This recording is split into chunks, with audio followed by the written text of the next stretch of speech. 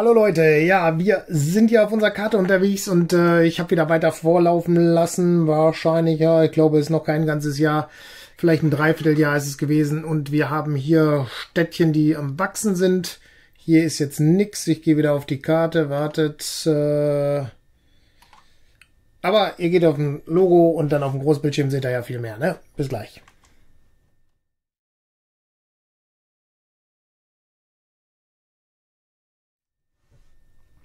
So, hier in Schwandorf ist nichts außerhalb. Hier in Lippstadt ist auch nichts außerhalb. Hier in Erlangen ist auch nichts außerhalb. Enden ist auch nichts außerhalb. Friedrichsdorf ist auch nichts außerhalb. Dann haben wir Bad Mergentheim. Ist auch nichts außerhalb. Achem, auch nichts außerhalb. Dann Neubrandenburg ist auch nichts außerhalb. Und jetzt kommt Köln und da haben wir hier ein Häuschen. Das heißt, wir müssen dort eine Straße erweitern. Bushaltestelle ist hier. Das heißt, da muss einer hin, um das abzudecken. Und dann brauchen wir eine Kutsche. Da ist eine mit dem Stadtbus, Fahrplan. Und dann äh, müssen wir Rathaus haben, das ist da und dann diese Haltestelle, dann passt das. Haben wir Köln erweitert. Ja, sieht schon ganz nett aus, das Städtchen. Dann gehen wir nach Jena. Jena ist ziemlich geballt, aber es wächst nicht weiter auseinander. Dann gehen wir nach Königsbrunn und Königsbrunn hat es nach langer Zeit geschafft, mit dieser Querstraße dann ein Häuschen da dran zu machen. Und das bedeutet, wir müssen hier oben eine Bushaltestelle hinmachen. Da. Und ist dann abgedeckt. Gut, äh, dann brauchen wir die Lupe wieder. Dann Stadtbus, Fahrplan, das kann zu. Rathaus ist da und der ist da. Dann haben wir das auch erweitert hier. Das kann erstmal wieder zu. Dann gehen wir nach Bad Zwischenahn. Da gibt es hier zwar ein Stück längere Straße jetzt mittlerweile, aber da ist noch nichts dran gekommen. Alles noch abgedeckt. Dann hier unten, ne, gehen wir erst nach Gütersloh. Gütersloh wächst und gedeiht, aber auch alles intern wohl. Das Häuschen ist auch abgedeckt, passt erst. Dann haben wir noch Lüneburg. Lüneburg tut sich schwer hier, hat Straßen gebaut. Hier glaubt der Zipfel ist auch neu und äh, aber keine Häuser außerhalb. Dann haben wir hier unten zwei Brücken, die wahrscheinlich längste Stadt auf der Karte. Ich glaube, dieser Zipfel ist neu, aber sonst nichts. Alle Häuser sind noch innen drin. Hier drüben bin ich gespannt, wann da die ersten Häuser auf der anderen Seite kommen. Dann sind wir hier in Bayreuth und Bayreuth hat dieses Häuschen jetzt geschafft, dazu zu kriegen. Das heißt, wir müssen hier da eine Bushaltestelle hinmachen. Wunderbar. Okay, da können nur auf gerade, das heißt, wir müssen da erst was erarbeiten. Äh, das heißt, das muss erst weg. Dann müssen wir das hoch machen. Ich dachte, auf der Schräge wird es auch gehen, aber dem ist wohl nicht so. Und dann so runter, ne? Okay, hat er direkt mit der Straße gemacht, sehr gut. Das heißt, das Werkzeug kann weg und dann ziehen wir die Straße wieder durch und setzen die Bushaltestelle da dran. Passt. Das kann weg. Lupe ist an. Wir gehen auf den Stadtbus Bayreuth, gehen auf den Fahrplan. Hier gibt es erst einen einzigen. Dann kommt das Rathaus dazu und dann der. Dann wird das auch langsam größer in Bayreuth. Bayreuth haben wir. Dann sind wir in Willig. Hier oben, aber ja, es ist hier, glaube ich, ein bisschen anders geworden, aber noch nichts außerhalb. Dann haben wir Bünde. Bünde ist auch nichts. Diese lange Straße, da passiert nichts. Ettling. Tut sich ganz schwer. Hier die Gleise geht keiner rüber und auf der anderen Seite ist es schwierig. Wohl, wir haben ja hier ein Häuschen. Eigentlich müsste man könnte hier, nee, da ist die Bushaltestelle, geht also gar nicht hier rüber. Es müsste hier rüber wachsen. So, dann haben wir noch Willensdorf, ne? Und Willensdorf ist nichts, ist abgedeckt. So, dann sind wir schon durch. Ja, da haben wir das schon geschafft. Jetzt würde ich sagen, schauen wir nochmal in die Haltestellen rein, wie sich das da verhält. Die Liste der Haltestellen ist hier. Wir gehen hier auf Wartend. Schauen mal, das Gütersloh am meisten. Gehen wir mal rein. Das können wir mal zumachen. Gütersloh Hauptbahnhof, ne, Rathaus ist das, wo sie alle stehen. Das wäre dann ja hier. Bad Zwischenahn. Gütersloh intern nach Weinbergstraße 23. Wo ist die Weinbergstraße? Hier ist die, okay. Ich glaube, die wird auch gerade angefahren, ne? oder? Ne, die fahren vorbei. Dann sind ein paar nach Köln und ganz viele unten nach Brandenburg und Willensdorf, beziehungsweise nach oben fahren die ja nach Schwandorf. Willensdorf weiß ich gar nicht, ob die unten rumfahren oder oben ran.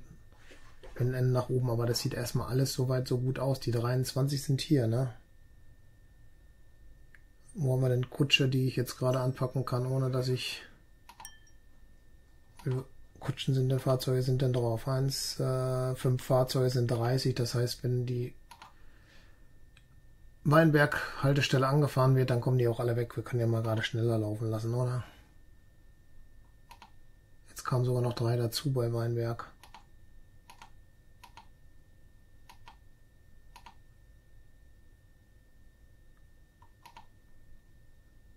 Ah, 26 bleiben da. Ah, jetzt fahren sie, glaube ich, in die Richtung, oder? Ja, sind es nur noch 19. Zweite Kutsche kommt 16. 12. 5, ja, oder wo sind sie jetzt, die Weinberger? Da noch 14. Ah, die Kutschen fahren doch nicht alle nacheinander. Aber es sind welche weggekommen da auf jeden Fall. Passt erstmal, würde ich sagen. Und 30 gehen in die Kutschen und 23 war Maximum, also kann man das so lassen. Bayreuth Hafen, okay, wie sieht's denn da aus? 7, okay, die Schiffe machen aber ihren Job, denke ich. Der ist voll, aber passt noch. Wo sind die anderen? Hier fahren noch drei Schiffe, oder? Hier ist aber keiner. Sind die untergegangen oder was? Hä? Ach, die sind alle aufeinander.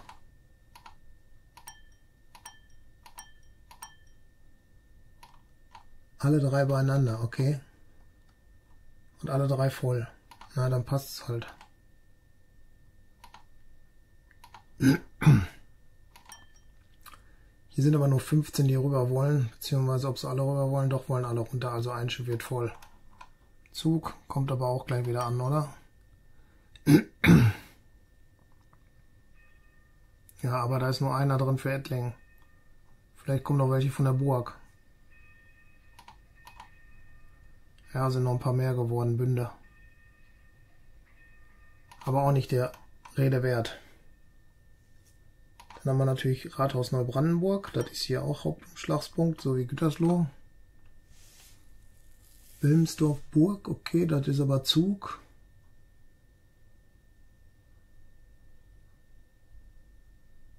Köln auch Zug Neubrandenburg, hier unten 24 zum Klausbruchstraße. Wo ist die? Da oben. 24, was sagen die Kutschen? Wie viel haben wir? Achte, das muss reichen. Achem haben wir dann noch hier. Achem, oh, da sieht es aber schlechter aus. Zum alten Seebad. Da wollen aber ganz viele rüber. Und wie sieht es umgekehrt aus? Da stehen auch 25. Und wie viele Kutschen haben wir hier? Zähne, das sind 60. Rein theoretisch müssten da mehr sein. Ja, das kannst du nicht so lassen. Müssen wir hier noch was machen. Das, das und das. Stadtbus Achem. Also vier Stück, denke ich mal, können wir da noch draufsetzen, ne?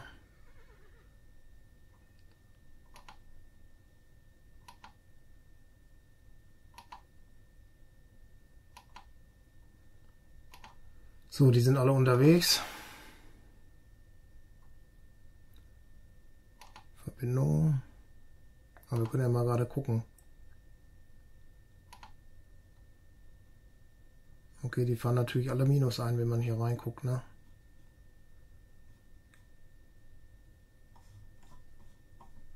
Gewinnen Tausender. Naja, aber da können wir mit leben, denke ich.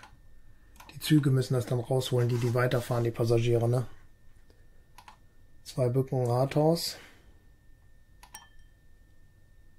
Da stehen auf einer Stelle 63 und die wollen alle intern weg hier.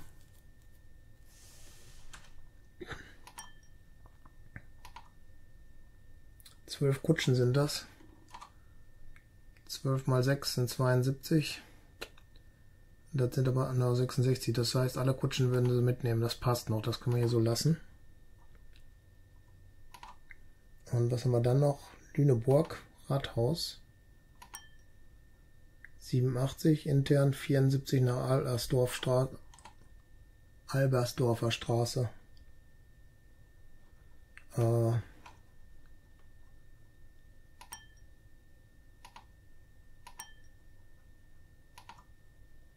sind vier Kutschen drauf. Und 74 das ist ein bisschen wenig. Da müssen wir noch mal gucken, dass wir hier nach Lüneburg auch noch welche auf den Stadtbus schicken. Da oben ist es.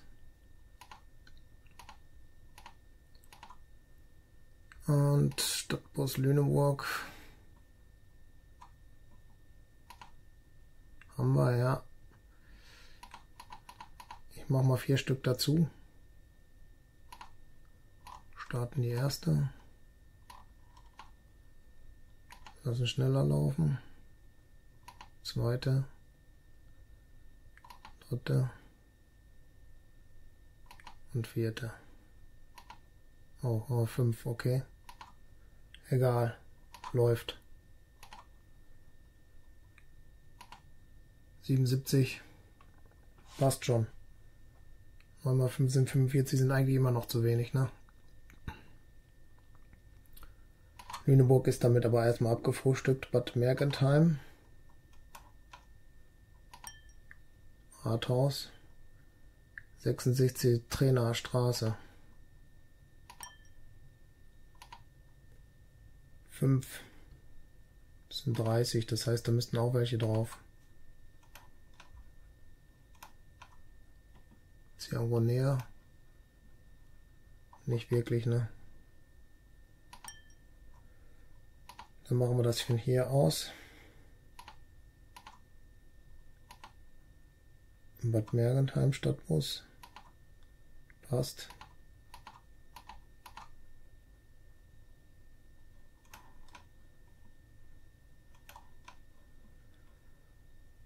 Okay, erster raus, nach schneller laufen, zweiter raus, dritter raus, vierter raus, und fünfter raus. Keiner mehr da. Passt. So, das war Bad Mergentheim. Das ist hier Bahnhof. Da stehen 88. Wo wollen die alle hin? Auch welche hier übers Wasser, ne? Wir sind da drin, 13.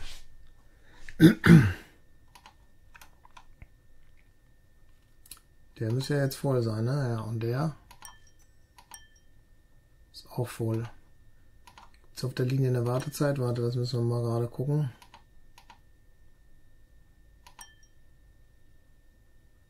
Dreißig Abfahrten pro Monat. Ich glaube, das ist zu wenig.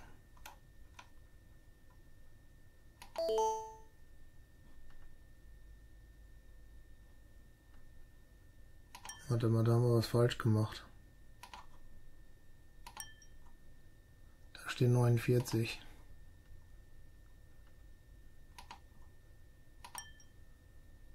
Nochmal diese Linie.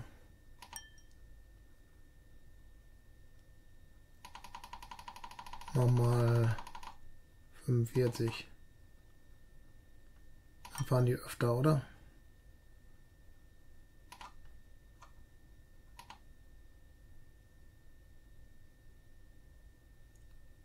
Ah, fahren sie fast permanent, wa? Nee, da oben ist ja schon direkt gefahren. Ich glaube, die fahren jetzt permanent dann. Das heißt, wir können es auch rausnehmen, ne?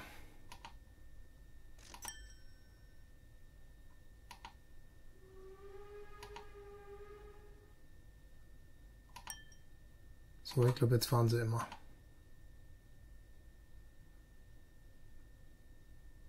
Ja, lass mal so. Äh,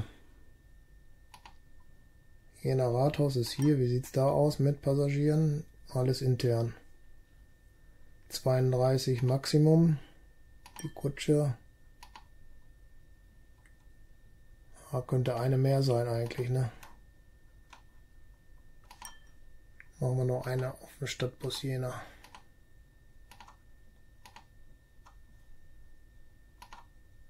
Und starten.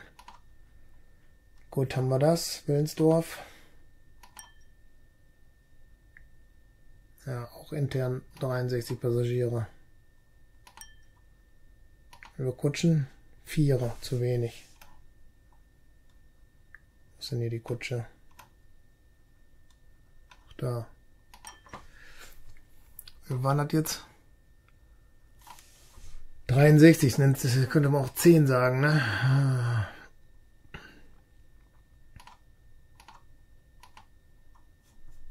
Willensdorf Stadtbus. Ich habe mal fünf Stück dazu gemacht.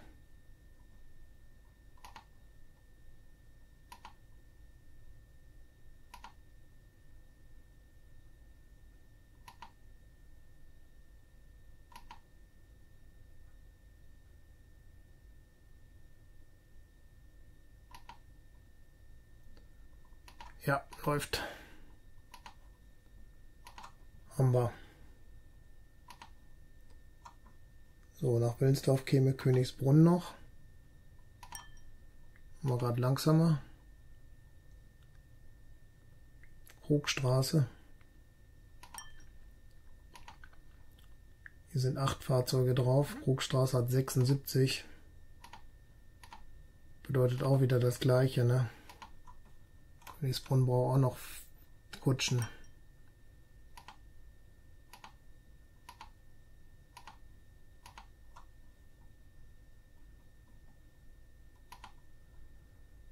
Kopieren wir dreimal und dann geht's los.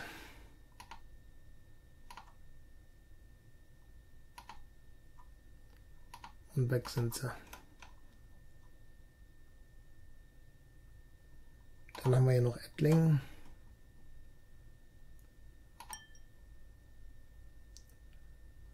Ettling intern sind auch reichlich. Ich sage jetzt nicht, hier fährt nur eine Kutsche. Sieht tatsächlich gerade so aus, oder?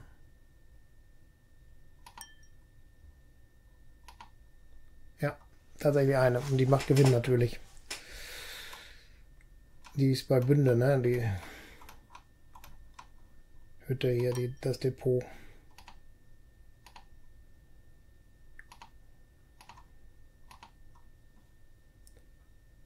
Ettling ist da. 49. Können wir bestimmt sechs Stück noch dazu machen.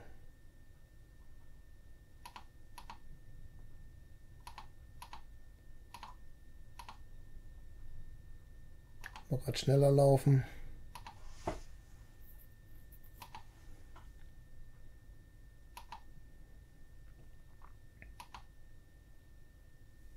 Und die letzte noch. Wunderbar. So, dann geht es in Ettlingen auch weiter. Das kann zu, das kann auch zu. Das los grün, alles ist prima. Sieht schick aus, oder? Okay, haben wir einiges gemacht. Ich würde sagen, ich werde wieder weiterlaufen lassen in der Zwischenzeit, gucken, dass da schön die Städte wachsen und wenn dann ist, dann müssen wir wieder was ausbauen. Na, dann sehen wir das und äh, ja, würde ich sagen, recht herzlichen Dank fürs Zuschauen. Würde mich freuen, wenn ihr das nächste Mal auch wieder mit dabei seid. Falls ihr noch kein Abo habt, macht eins. Falls euch die Folge gefallen hat, gebt einen Daumen hoch, macht euch die Glocke an, kriegt damit, wenn ich das nächste Video hochlade. Gerne Kommentare schreiben und auch gerne das Video auf anderen Kanälen teilen. Wir sehen uns in der nächsten Folge. Bis dann. Ciao.